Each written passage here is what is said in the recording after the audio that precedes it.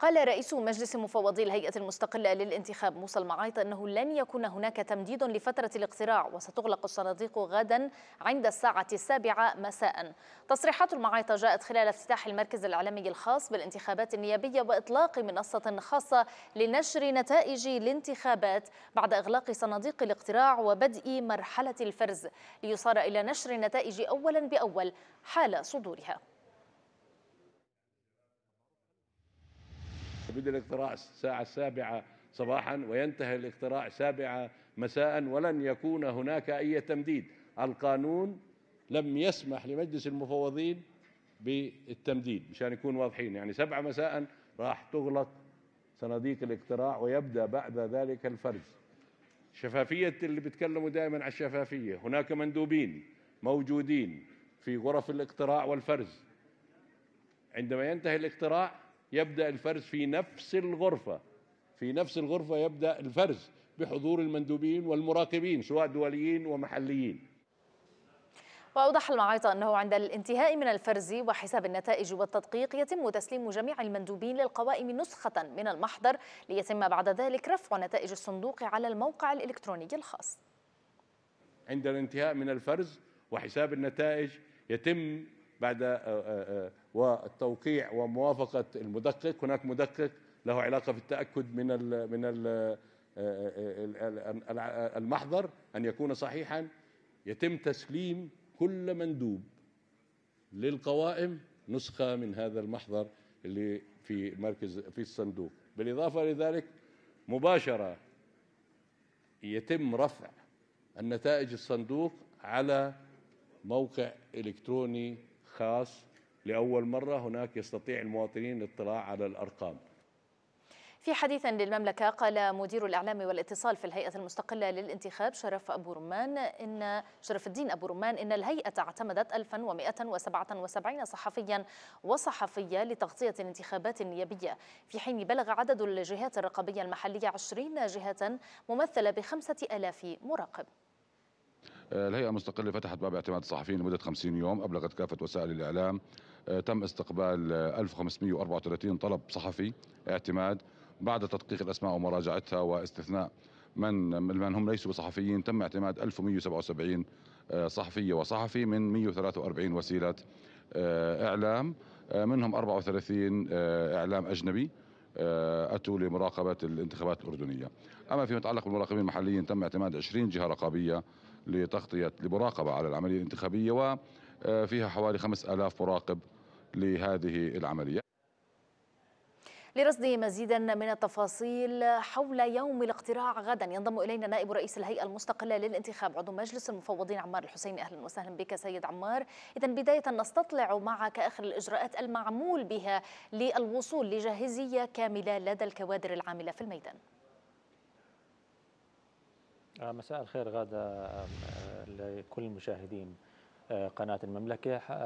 حقيقة الهيئة أتمت استعداداتها ليوم غدا هو يوم الاقتراع.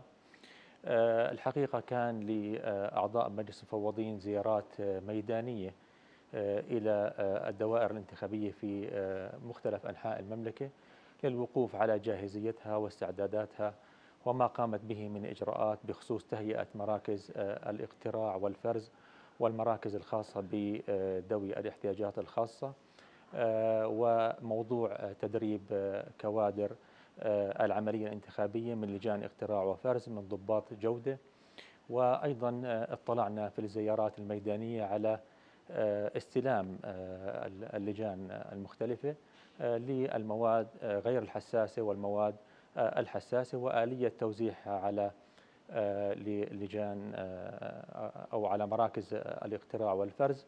الحقيقة أيضا تأكدنا من موضوع جاهزية الربط الإلكتروني وتم إجراء حوالي أربع تجارب للربط الإلكتروني وكانت جميع هذه التجارب ناجحة وتمت بشكل ممتاز. أيضا تأكدنا ميدانيا من وجود بدائل للطاقة في حالة آه، انقطاع التيار الكهربائي لأي آه، سبب كان. إذا إحنا آه، جاهزيتنا كانت مش مجرد من تقارير تصلنا من لجان الانتخاب بل توجهنا إلى الميدان وقضينا وقت مناسب مع لجان الانتخاب قبل موعد مناسب من الاقتراع وكنا معهم في الميدان وكان هنالك بعض العقبات التي تم حلها بإجراءات إدارية بسيطة. الحقيقة الجاهزية الحمد لله بأعلى مستوياتها وبإذن الله كما تعلمين أن الاقتراع سيبدأ يوم غدا في تمام السابعة صباحا وينتهي في تمام الساعة السابعة مساء. وكما ذكر معالي رئيس مجلس المفوضين لن يكون هنالك تمديد على اعتبار أن قانون الانتخاب لمجلس النواب لم لم يسمح لمجلس المفوضين بتمديد العملية الانتخابية لأي سبب كان. نعم.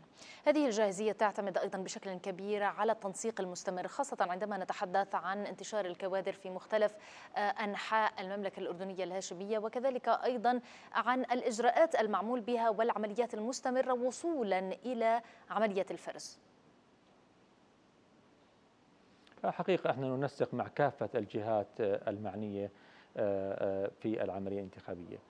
صح أنه الهيئة هي جهة دستورية آه، مستقلة لكن بنفس الوقت إحنا لا نعمل لوحدنا إحنا نعمل آه، ضمن منظومة نستخدم آه، مدارس وزارة التربية والتعليم. أيضا كافة العاملين في العملية الانتخابية هم من موظفي القطاع القطاع العام.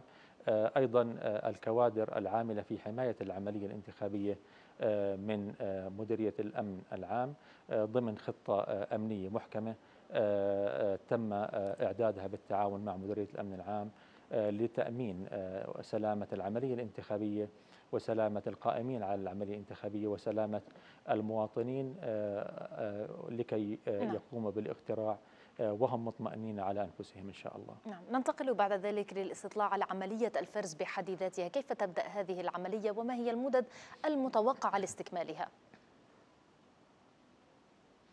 يعني بمجرد انتهاء عملية الاقتراع آه، في تمام الساعة السابعة مساء من مساء يوم الغد آه، سوف تبدأ لجان آه، الاقتراع بفرز الأصوات مباشرة في نفس المكان الذي جرى فيه الاقتراع.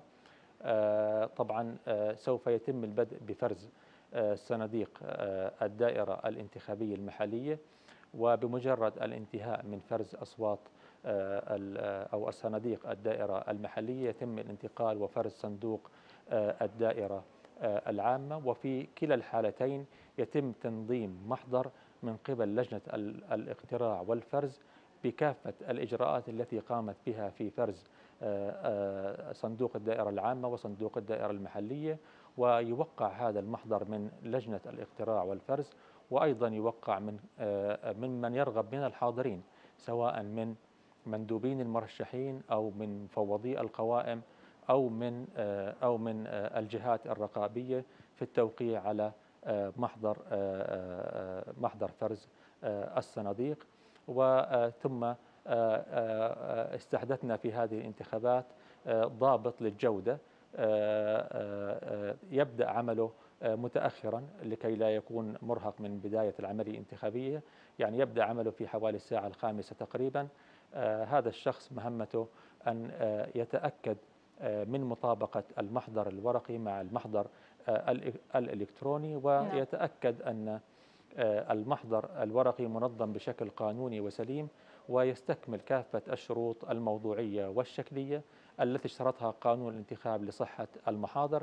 إذا اعتمد ضابط الجودة هذا المحضر فيتم اعتماده إلكترونيا ثم آه، يرسل إلى آه، آه، إلى مدير المركز الذي يقوم بتجميع الأصوات على مستوى مركز الاقتراع والفرز. نعم. سيد عمار العملية الخاصة بالاقتراع يعني بالنسبة للإطار الزمني نعم, نعم. تفضل تفضل. نعم تفضلي. فيما يتعلق بالنسبة للإطار الزمني إحنا زي ما تفضل. نعم. لا بأس فيما يتعلق بالإطار الزمني كما ذكر اليوم معالي رئيس مجلس المفوضين أنه آه، يعني آه، خلال 48 ساعة من آه، انتهاء الاقتراع سيتم إعلان النتائج النهائية بإذن الله تعالى. نعم. من قبل مجلس المفوضين. إذا فيما يتعلق بالإجراءات التنظيمية الآن نعلم أن هناك خطوات واضحة فيما يتعلق بعملية الاقتراع بحد ذاتها. تبعا لهذه الإجراءات المعمول بها والخطوات التنظيمية ما هو الوقت المتوقع للاقتراع لكل ناخب؟ آه، الوقت المتوقع للاقتراع لكل ناخب أقل آه، من ثلاثة دقائق حقيقة. من دقيقتين لثلاث دقائق بحد أقصى. لأن الإجراءات الإجراءات سهلة والإجراءات آه، ميسرة. وإذا كان هنالك أي ناخب يعني لا يعلم كيفية الاقتراع إحنا بنعرف إنه الهيئة المستقلة وبالتعاون مع إعلامنا اللي إحنا بنتوجه له بشكر كبير. حقيقة على ما قام به من مجهود في آه، بث الرسائل التوعوية الخاصة للهيئة آه، وعلى سبيل التحديث فيما يتعلق بكيفية الاقتراع. الآن إذا كان هنالك أي آه، مواطن غير لا يعرف كيف يتم الاقتراع من مهمة رئيس اللجنة إفهام هذا الشخص كيفية الاقتراع والتأشير على من يرغب سواء في القائمة العامة أو القائمة المحلية. هذه من مهمة رئيس رئيس اللجنة رئيس لجنة الاقتراع والفرز في إفهامه كيفية الاقتراع.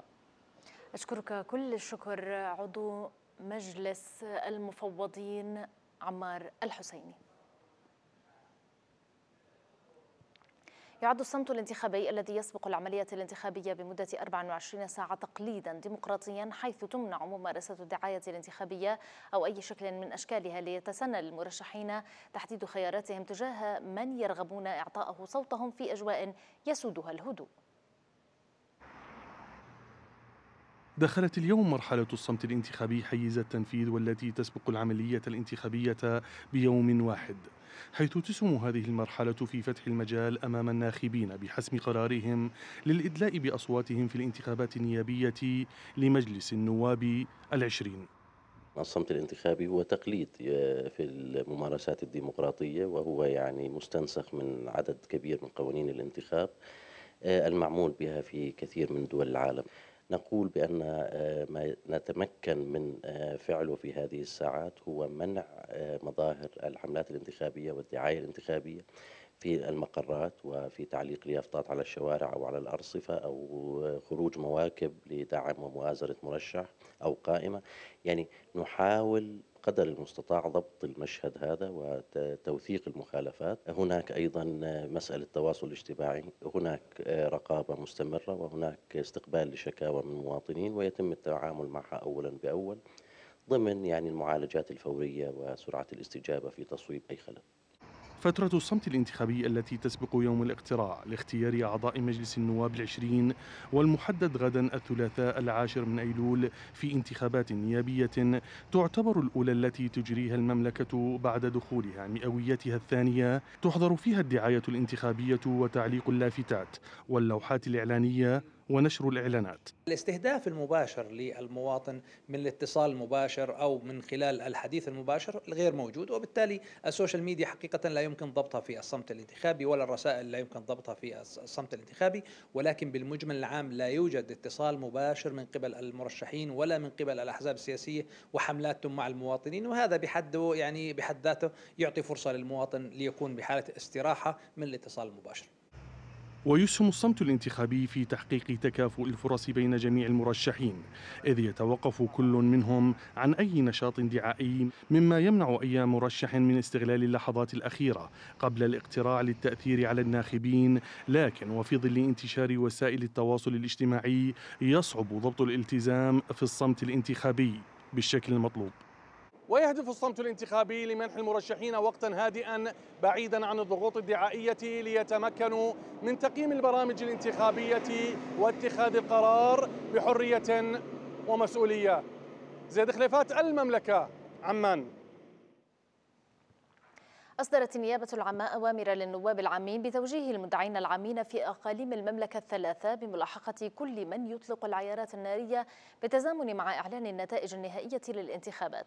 وقال رئيس النيابة العامة القاضي يوسف ديابات أنه تم التشديد على إيلاء الجرائم المتعلقة بحيازة الأسلحة النارية بدون ترخيص وإطلاق العيارات النارية العناية الخاصة حال ورود الأخبار من الأجهزة الأمنية والمتضررين وملاحقة مرتكبيها وإحالتهم إلى المحاكم. المحاكم المختصة.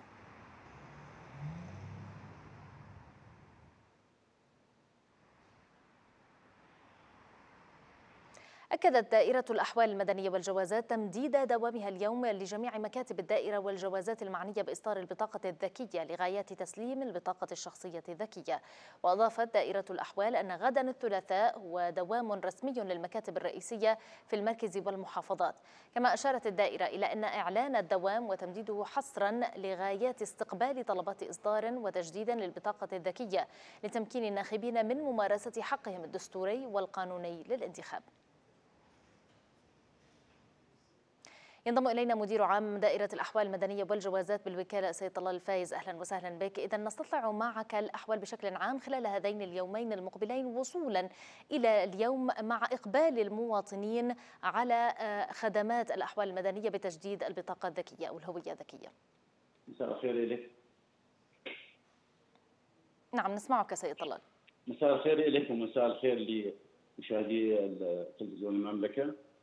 إحنا اليوم وصلنا لآخر يوم بخصوص الاستحقاق الدستوري للمواطنين الاردنيين اللي راح يكون بتاريخ 10 9 ل 24 آه هذا الاستحقاق إحنا كأردنيين راح نمارس حقنا الدستوري والقانوني بانتخاب أعضاء مجلس النواب القادم.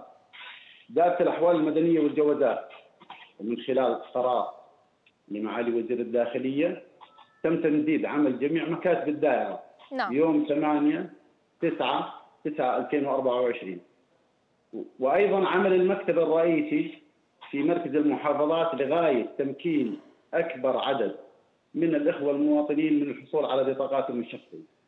نعم. هذا القرار انعكس بشكل إيجابي وملموس لنا في دائره الأحوال المدنية من خلال الأعداد التي لمسناها من المراجعين ومن الطلبات حيث بلغت أعداد المراجعين الذين حصلوا على بطاقات شخصية يوم الأحد 8 9 7295 بطاقة. لهذا اليوم اللي هو 9 9 ولغاية الساعة السادسة مجموع الطلبات المقدمة بلغ 7089 بطاقة. بمعنى أنه خلال اليومين تم فيهم تمديد الدوام لغاية الساعة السادسة بلغت مجموع الطلبات 14380 طلب. ولا زال يوجد مكاتب للدائرة أبوابها مفتوحة وتستقبل المراجعين لغاية هذه اللحظة. نعم. يستمر إذا هذا الإقبال مع هذه الأعداد التي أقبلت سيد طلال. كيف تصف الحالة أو لربما الوضع بتسيير هذه الخدمات خاصة مع إقبال لا أدري قد يوصف بالغير مسبوق في خلال يومين آه، الأحد في خلال يومي الأحد والاثنين؟ اليومين الماضيين اللي هو اليوم ويوم أمس يومين كان مميزات بالنسبة لدائرة الأحوال المدنية. إحنا الوضع الطبيعي والمعدل الطبيعي لقبول الطلبات الأيام والأشهر الماضية كان بحدود ال 1000 لل 1500 من مدة اسابيع اللي مضت تجاوزنا حاجز ال 4000 بطاقة يومي. هذا كله انعكس ودلالة على إنه في توجه في رغبة عند إخواننا بالمشاركة الفعلية والفاعلة بالانتخابات النيابية واختيار ممثليهم في مجلس النواب القادم. نعم. آه، يعني الاحصائيه اللي موجودة لدي الآن من آه، تاريخ 1 9 لغاية يوم أمس تقريبا بلغ مجموع الطلبات المقدمة حوالي 27261 إذا أضفنا الطلبات اللي اليوم إحنا تجاوزنا خلال تسع أيام 33 ألف طلب ويزيد كمان هذا العدد يعني ما دام المكاتب فاتحه وتستقبل طلبات من إخواننا المواطنين. نعم. كان هناك بعض الشكاوى بتأخر المعاملات بمركز الأحوال المدنية في ناعور وتكدس المواطنين فنستطلع معكم الوضع في المركز حتى هذه اللحظة. في ناعور مكتب من مكاتبنا الموجودة بمحافظة العاصمة مجموع الطلبات المقدمة اليوم بمكتب ناعور 133 طلب. آه، للأسف إنه صار آه، عطل بآلة الطباعة. فرق الصيانة اليوم قامت بالواجب والآن الطباعة والمواطنين الموجودين في مكتب ناعور. وصدر الأمر لجميع مكاتبنا مش مكتب ناعور جميع مكاتبنا التزام بالدوام. لساعات متأخرة حتى نسلم جميع الهويات جميع الطلبات المقدمة لنا من إخواننا آه، حتى يقدروا يمارسوا حقهم الدستوري والقانوني يوم غد إن شاء الله. نعم، إذا تمت معالجة المشكلة في مركز ناعور والأمور الآن تسير بكل يسر وتم التمديد وتستمر حتى يوم غد للتمكن من إنجاز كافة هذه المعاملات المطلوبة. نعم ستي إحنا يعني القرار لما عليه كان واضح لغاية الساعة السادسة إحنا يعني آه، ما شاهدناه من الاقبال من اخواننا المواطنين على مكاتب الاحوال المدنية. كان الإعاز لمدراء المديريات كان الإعاز لأمناء المكاتب في بقاء مكاتبنا مفتوحة. تسليم اخواننا المواطنين بطاقاتهم لآخر بطاقة حتى لو استمر الدوام واستمرينا لغاية منتصف الليل ما عندنا مشكلة. لأنه بالنهايه هذا واجبنا.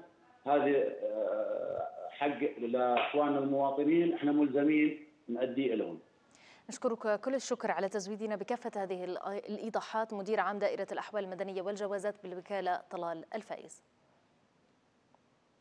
زاد الموسم الانتخابي الإقبال على محل الحلويات بما نسبته 20% خلال الفترة الحالية. في الوقت الذي أشارت فيه بعض المحال إلى أن الإقبال على الحلويات خلال الانتخابات السابقة وتحديدا ما قبل جائحة كورونا كان أكبر.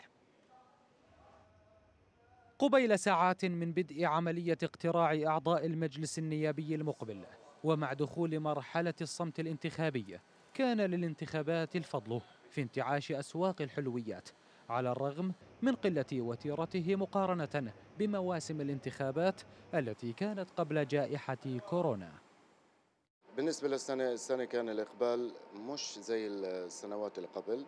السنوات اللي قبل كانت المقرات الانتخابية وسحب والشغل كان أفضل. آه، ما بنحكي إنه يعني ما في شغل بالمرة ولكن مقارنة بالسنوات الماضية لا. السنوات الماضية أفضل وأحسن. 20% ازدادت نسبة الإقبال على الحلويات منذ افتتاح المقرات الانتخابية خاصة بعد الظروف الجيوسياسية العديدة التي أثرت في مختلف القطاعات الاقتصادية في الأردن ومنها الحلويات. طبعا وضع طبيعي السنة ما كان في حركة أساسا وحركة المغتربين بشكل عام ما كانت موجودة أخي الكريم. يعني ما كانش الحركة اللي بالشارع قوية ما كانش حركة السياحة قوية ما كانش بتعرف السائح بضل يخاف والناس بيقول لك منطقة الشرق الأوسط بشكل عام بدمجوا الكل. الحمد لله إحنا بلدنا آمن إن شاء الله ويظل آمن. ما كانش الحركة طبعا كان في تراجع بالحركة السياحية بشكل عام وهذا الحكي طبعا أثر على كل شيء. بشكل عام كان في تراجع الحركة يعني شوي يقول الانتخابات. عدلت شوي بالنسبة للقطاع الحلو بس فقط لا غير اللي هو افتتاح المقرات الانتخابية هذه. بيضطر إنه يضيف آه، ضيوفه أو أو من ناخبينه ضيفهم حلو ضيفهم آه، وضع طبيعي إنه صار حركة بشكل عام. يعني ارتفعت إلى 20% تنساش إنه هلأ بعد ما تطلع النتائج برضه بإذن الله تعالى إن شاء الله طبعا راح يكون توزيع حلو أكيد 100% بس برضه بدك تحط ببالك شغلة إنه الناس قاعدة بتراجع الظروف المحيطه بمنطقتنا يعني مش قاعد فيه ويكون مبالغات قاعد بيكون الحلو على خجل قاعد بيكون يعني برضه في تحفظات كثير من الناس. وتستعد محل الحلويات المختلفة لتجهيز طلبات الإعلان عن نتائج الاقتراع التي سيعلن عنها إذ يبلغ عدد المطاعم في الأردن قرابة عشرين ألف مطعم ومحال للحلويات. رامي العيسى المملكة عمان. للحديث عن الإجراءات الاستباقية ليوم الاقتراع وقياس مدى الجاهزية ينضم إلينا من عمان مدير مركز الحياة راصد الدكتور عامر بني عامر. دكتور عامر عامر أهلا وسهلا بك. إذا دكتور عامر نتابع معك في هذه الساعات الأخيرة آه، ما, ما تم من تجهيزات خاصة بما يتعلق بمراقبة هذه الإجراءات قبل بدء الاقتراع. يعني حقيقة نحن في فريق راصد جهزنا 250 فريق آه، متجول آه، سيكون حوالي 1700 مراقب بالمجمل العام بين ثابت ومتجول تراقب هذه العملية الانتخابية وكنا يعني نتابع ساعة بساعة مع الهيئة المستقلة جميع هذه الإجراءات وما سيكون عليه الأمر يوم غد. نحن نتوقع أن تكون الإجراءات آه، كما ذكر يعني مفوض الهيئة المستقلة سلسة إلى إلى حد ما ولكن يجب أن نأخذ بعين الاعتبار أن هناك تباينا في فهم المواطنين للعملية الانتخابية ولوجود ورقتي اقتراع ولوجود أيضا القائمة الحزبية لأنها لا يوجد فيها أسماء وسيكون بعض الناخبين لديهم يعني توجس ولديهم يعني عدم معرفة في بعض هذه الإجراءات. بالمجمل العام نشرنا هذه الفرق وبالمجمل العام أيضا ستكون إجراءاتنا الصباحيه متابعة وإصدار تقارير بشكل منتظم عن المجريات العملية الانتخابية بالمجمل العام. نعم الآن بتقديراتكم وتوقعاتكم هل من نسب متوقعة حول نسب الإقبال على عملية الانتخاب؟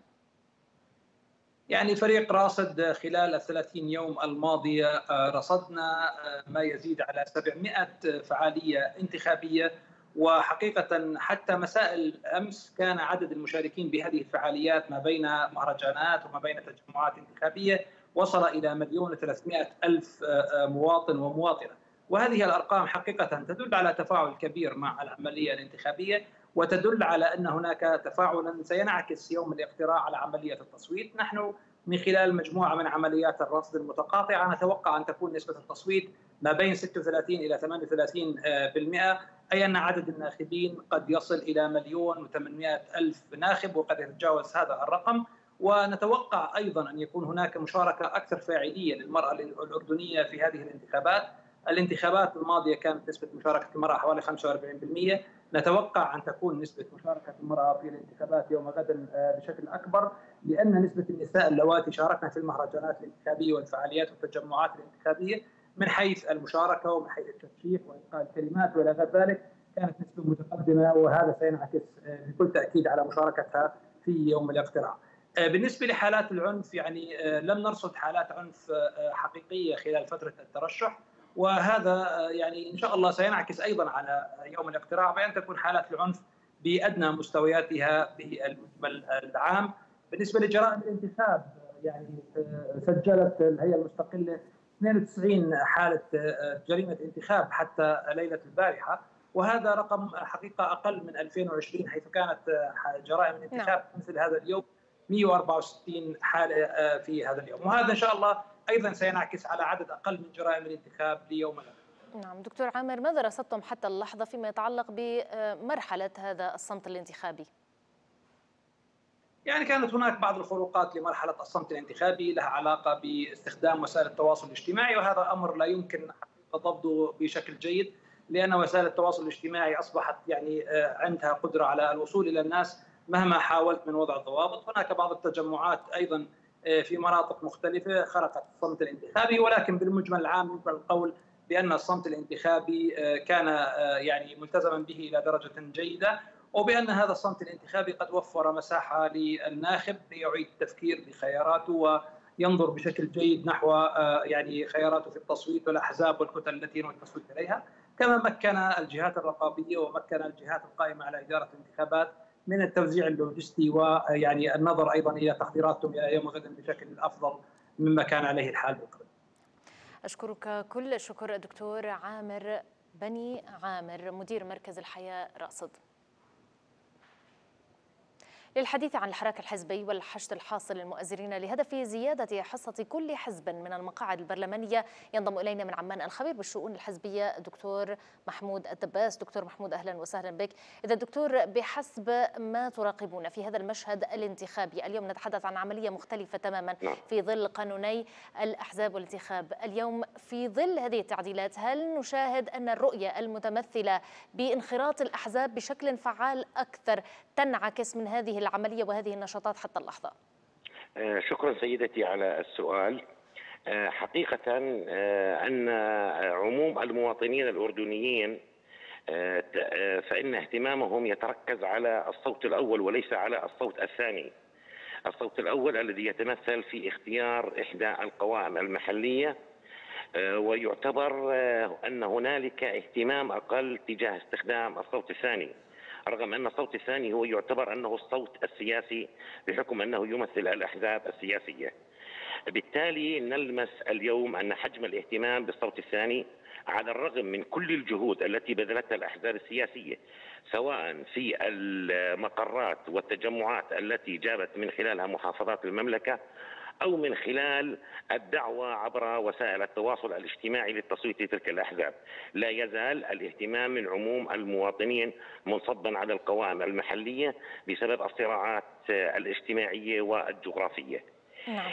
أيضا هنالك سبب آخر آه، في ضعف الاهتمام بالصوت الثاني وهو الصوت السياسي وهو أن مرشحو القوائم المحلية من المنتسبين للأحزاب السياسية برصد حركتهم فهم يروجون للقوائم المحلية التي يترشحون ضمنها دون أن يقوم مرشحو القوائم المحلية من المنتسبين للأحزاب السياسية بدعوة الناخبين إلى التصويت لأحزابهم السياسية التي ينتسبون لها. فوق ذلك وضمن الأسباب التي تقلل حجم الاهتمام بالصوت الثاني فهو قناعة الناس أن عدد لا بأس فيه من مرشحي القوائم الحزبية ليسوا منخرطين في الشان السياسي العام حتى وإن انتسبوا إلى أحزاب سياسية. بالتالي يبقى اليوم السؤال ما هي نتيجة ذلك كله نتيجة ذلك وهذا ما نحذر منه أن أن يكون هنالك ما نسبة 20% من آه، الذين يقترعون آه، للقائمة الحزبية في الدائرة العامة أن يكون هنالك 20% أوراق فارغة أو لقلة الاهتمام بهذا الموضوع أن نجد أن أصوات ملغاة نتيجة عدم الاهتمام وبالتالي وضع أي إشارة على الدفتر الذي يخص القائمة آه، الحزبية واختيار أحد القوائم التي ترشحت فيها. يبقى الجزئية الثالثة ما هو الحل؟ فالحل آه، أن تستثمر الدولة كافة وسائل الإعلام الأردني بحث كافة المواطنين الأردنيين على ضرورة أن لا يتركوا الصوت الثاني بدون تصويت وأن لا تكون تلك الدفاتر تعاد إلى صندوق الاقتراع وهي فارغة بدون أي تصويت نعم. في ذات الوقت فعلى مرشحي القوائم الانتخابية المحلية عليهم أن يدعوا ناخبينهم إلى التصويت للأحزاب السياسية التي ينتسب إليها هؤلاء المرشحين وليس الاكتفاء بدعوة الناخبين لاختيار القوائم المحلية التي ترشحوا ضمنها نعم دكتور نعم. محمود نعم. دور الأحزاب بشكل عام إذا ما تحدثنا بخصوصية أكبر في الدور الفعال المأمول والمنشود اليوم نتحدث عن عملية تدريجية هذه هي المرحلة الأولى يعول عليها للبناء على نتائج نتائجها في المرحلة أو الانتخابات التي تأتي ما بعدها كيف يجب أن يكون الدور الحزبي إضافة إلى المترشحين وهذه العمليات التي تفضلت بذكرها أشكرك على هذا السؤال وأقر لسلامة النقد الموضوعي بأن هذه هي التجربة الأولى. وبكل تأكيد آه، أنه في التجربة التالية أو بعد الانتخابات آه، سنقيم بشكل أدق آه، لماذا كان تفاعل الشارع الانتخابي مع الصوت الثاني بهذا الشكل. أما من ناحية الأحزاب السياسية فأنا على قناعة أنها لا تألو جهدا في الترويج لأنفسها عبر وسائل التواصل الاجتماعي بدعوة الناس للتصويت لها لكن واقع الاستجابة هو منصب على القوائم المحلية أكثر من الانصباب على القوائم الحزبية. وكأنهم يعتبرون أنه خيار ثاني وليس مهما أو ضروريا لهم على الرغم من أن الصوت الحقيقي هو صوت الأحزاب السياسية لأن يفترض بنواب الأحزاب السياسية أن يكونوا ذو رؤية ورأي سياسي وأفكارهم السياسية ستنعكس على التشريع وعلى رقابة الحكومة. نعم. أشكرك. كل الشكر الخبير بالشؤون الحزبية دكتور محمود الدباس. في هذا الخبر العاجل الذي ترونه أسفل الشاشة قال الأمن العام إن قواته ألقت القبض على مطلقي عيارات نارية خلال التجمعات الانتخابية كما حجزت مركبات أعاقت المرور وهددت السلامة على الطرق. وأكد الأمن العام أن كل من يطلق العيارات النارية سيتم إلقاء القبض عليه ومحاسبته. هذا وكانت النيابة العامة أصدرت أوامر للنواب العامين بتوجيه المدعين العامين في أقاليم المملكة الثلاثة بملاحقة كل من يطلق العيارات النارية بالتزامن مع إعلان النتائج النهائية للانتخابات. وقال رئيس النيابة العامة القاضي يوسف ديابات إنه تم التشديد على إيلاء الجرائم المتعلقة بحيازة الأسلحة النارية بدون ترخيص وإطلاق العيارات النارية العناية الخاصة حال ورود الأخبار من الأجهزة الأمنية والمتضررين وملاحقة مرتكبيها وإحالتهم إلى المحاكم المختصة.